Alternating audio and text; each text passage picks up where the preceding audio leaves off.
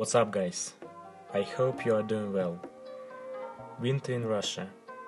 What do you think about this? Let me guess. Something like this?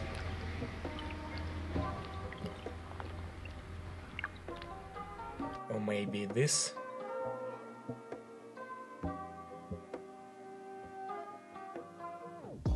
By the way, in the next videos I'll show you our winter nature. Well, it's been really cold for a couple of weeks in my town, so I decided to go to my grandmother's country house and go ice skating.